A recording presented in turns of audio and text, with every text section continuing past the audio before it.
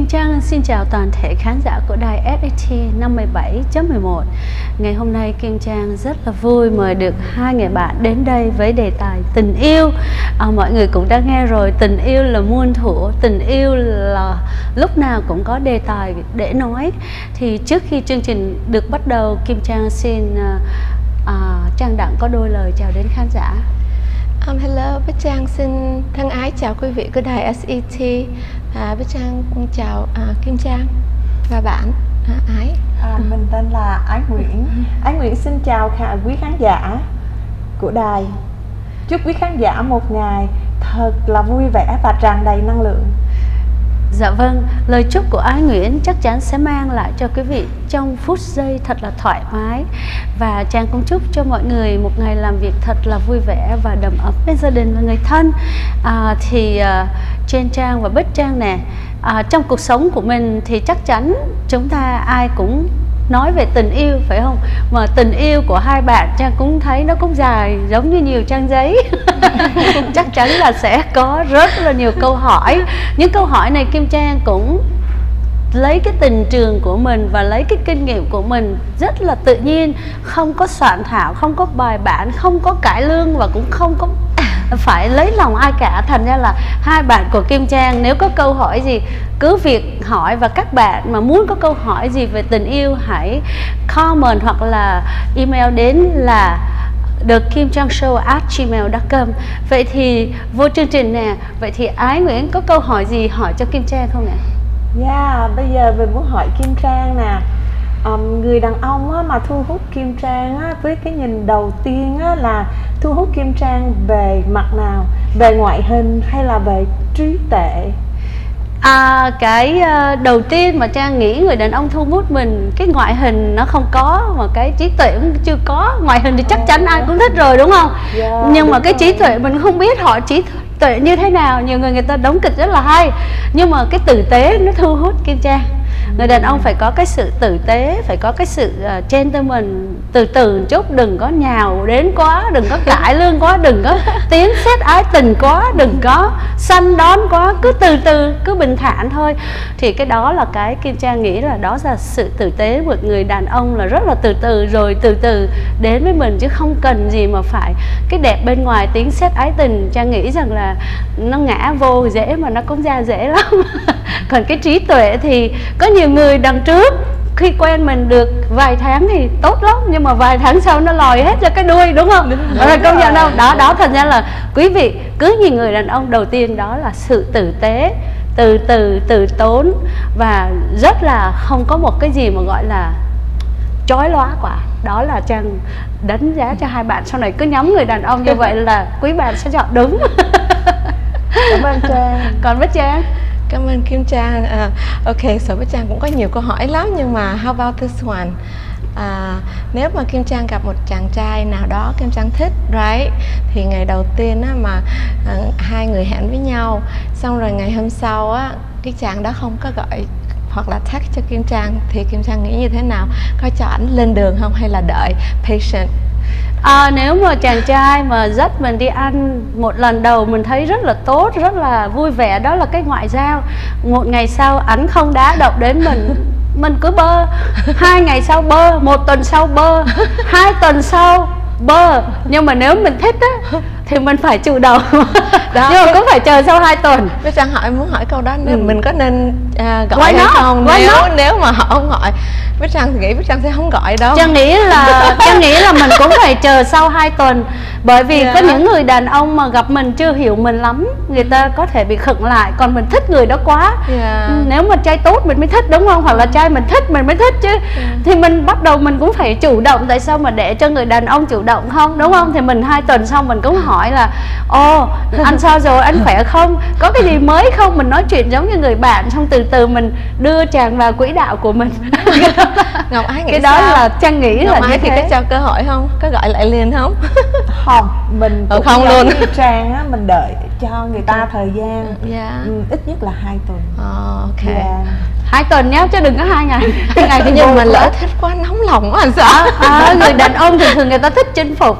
Thành ra nếu mà mình nóng lòng quá thì cái chinh phục của người đàn ông nó mất hết cảm hứng rồi. Nó lại đi đi rồi. chinh phục mấy cái cô mà nó đang muốn chinh phục. Thành ra mình phải cho người đàn ông có cái sự chinh phục trong cái sự mà đang à, đang um, cua mình. Uh-huh. chứ mình cho cái ống mà chơi cá cắn câu chưa gì cắn rồi nó đâu có gì chinh phục đâu mà đàn ông càng chinh phục thì người ta lại càng yêu mình. Thì trang suy nghĩ đó là trong thời gian đầu. Good idea. Bây giờ cho ái hỏi một câu hỏi trang nè. Khi mà hai người đã yêu nhau rồi đó thì trang thích là người đàn ông của mình tôn trọng mình hay là người đàn ông của mình cho mình tiền nhiều để mình xài? Ờ, dạ. tùy theo nếu mình nghèo thì mình thích tiền. Nói chung là mình nói vậy thôi sometimes cái nghèo á nó nó gạt có cái tự trọng luôn. Nhưng mà theo kim trang nghĩ rằng là mình vẫn có thích cái sự tôn trọng hơn thì mình từ từ từ cái tôn trọng đó họ mới giúp đỡ được mình. Còn nếu mà người đàn ông không có tôn trọng mình á mà người đàn ông cho tiền mình là người ta muốn mình một cái gì đó ngay liền tại chỗ thì mình vẫn phải cần có cái sự tôn trọng. Tiền mình thích nhưng mà mình phải cũng đàn bà cũng phải khéo léo đưa người ta vào cái quỹ đạo là giống như là phải đưa mình tiền với cái tư cách gọi là cái respect là cái tôn trọng mình thì mình vẫn phải cho ta tôn trọng. Tại khi người đàn ông mà không tôn trọng mình á làm bạn cũng không được nữa. Huống chi mà nói là là bồ là chồng đúng không? Nhưng mà Đúng với trang thấy rất là khó nói thì như vậy nhưng mà những người mà cho mình tiền á, thì họ lại không có respect gì cho mấy tại họ ý họ có tiền cho nên họ sẽ à, à, cư xử rất là khác với những người mà không có tiền thì mình lúc đó mình phải quyết định right? Và mình có Ờ. chịu như thế không right? Ờ, không phải không phải đâu. Có rất là nhiều người đàn bà không có đẹp nhưng mà người đàn bà người đàn ông cung phụng rất là nhiều. Sao mình đẹp quá mà đàn ông nó vừa phũ phàng mà mình là chẳng được cái gì. Nó cũng hơn nhau ở cái khéo léo cái Dạ, sự. léo. đôi lúc mình mình mình cũng phải ờ, cho người đàn ông biết là anh phải cho em tử tế hay là mình nhận. Mình không không cần phải thích lắm yêu lắm. Mình nhận cái kiểu giống như là em cần cái này anh giúp em cảm ơn anh. Nhưng mà đừng có để cho người ta thấy rằng là dùng tiền để mà mua mình để mà xài mình. Cái đó là trang thấy là mình phải khéo léo Khéo khủng léo, khiếp lắm. dạ. Ừ. Nha, câu trả lời là khéo léo nha vẫn phải dùng cái từ khéo léo còn câu gì nữa ái Ồ, oh, dạ bây giờ mình cho mình hỏi một câu này nữa. Um, tại vì đâu có phải là mình yêu là mình cưới ngay đúng không? ừ.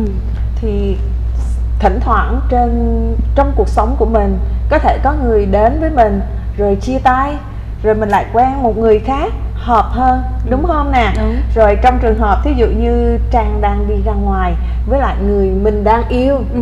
lỡ gặp cái anh chàng ừm, nôm na mình nói là ex boyfriend người yêu cũ. Yeah, người yêu cũ đó. Thì khi hai người gặp nhau thì lúc đó tình huống như như vậy thì trang sẽ xử sự như thế nào với người yêu, yêu cũ? à, Dạ. dễ lắm. Người yêu cũ đối với mình mình cũng phải có mức nhau. Người đó đối xử với mình tốt mà chia tay kiểu khác. Có những người yêu kệ- yêu cũ đối xử với mình rất là tệ mà chia tay nó khác. Thì trang hỏi mức độ người yêu cũ đó là đối xử tốt hay đối xử tệ Ờm, mình nghĩ là tốt nhưng mà do một lý do nào đó hai người không hợp nữa.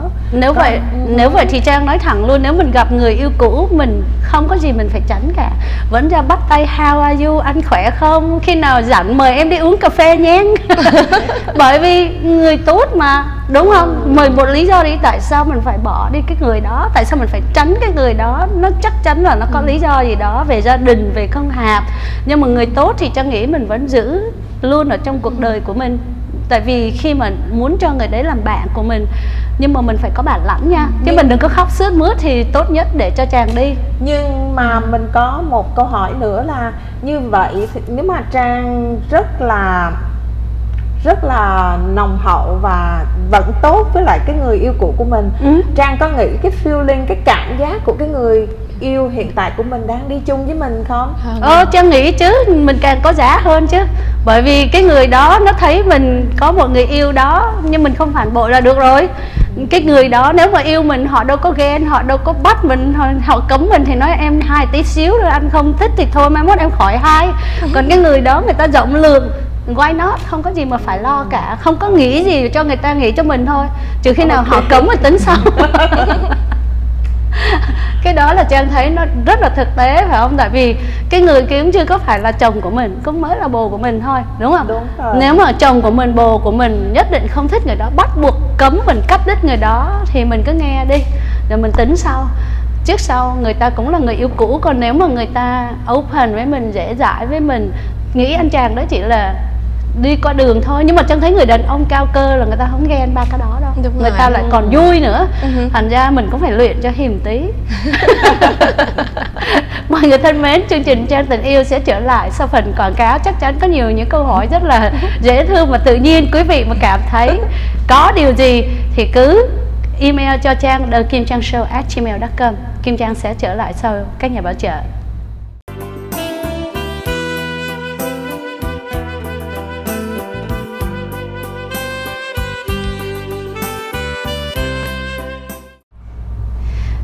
Vâng, Kim Trang, tình yêu tiếp tục trở lại với quý vị à, những câu hỏi thật tình và những sự trải nghiệm của những người bạn gái à, có những câu hỏi ngôn nghê và những câu trả lời có thể quý vị cảm thấy nó đúng và không đúng nhưng mà đó là cái kinh nghiệm trong sống cho tích tụ rất là nhiều người và xung quanh và cũng cảm thấy rất là thoải mái với cuộc sống bây giờ.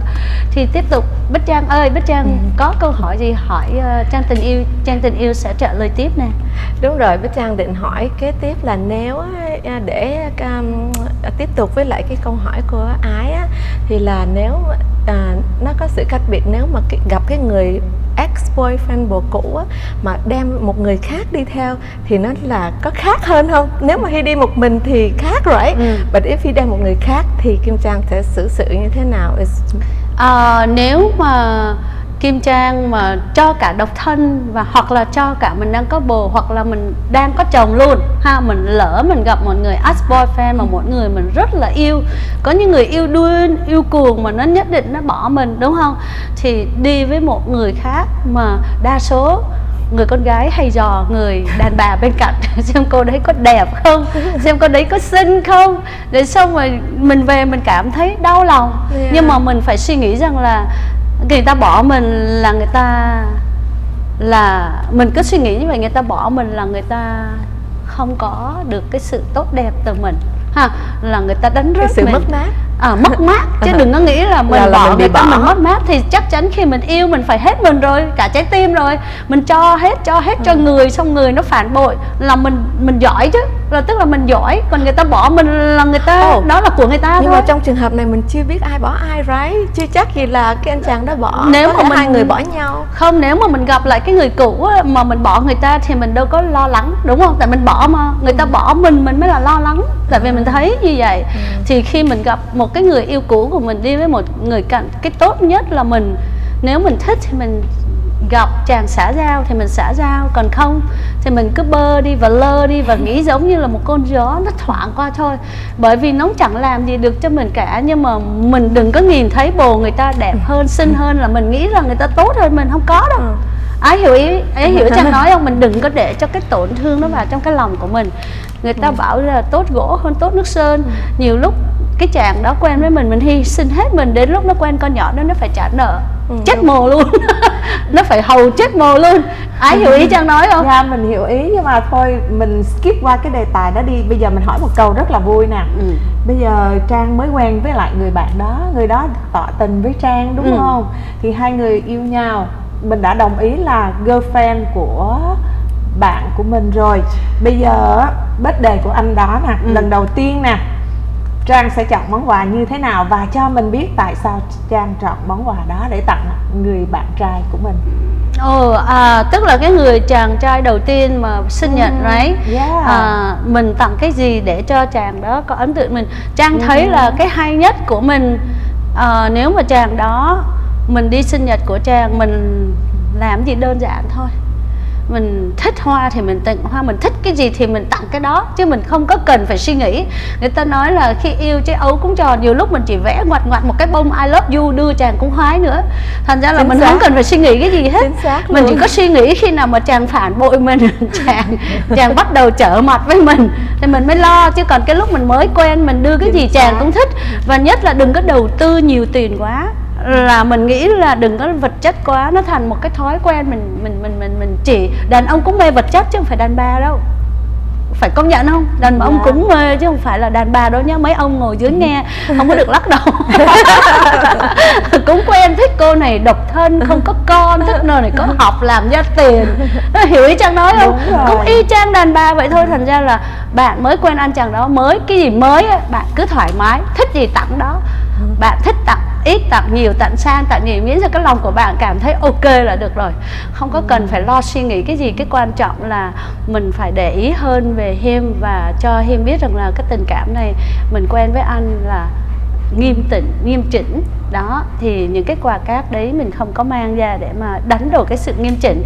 Thì trang trang suy nghĩ là ai muốn tặng gì tặng. Tại vì trang khẳng định với bạn người đàn ông thích mình rồi cái gì tặng họ cũng thích không tặng họ cũng thích luôn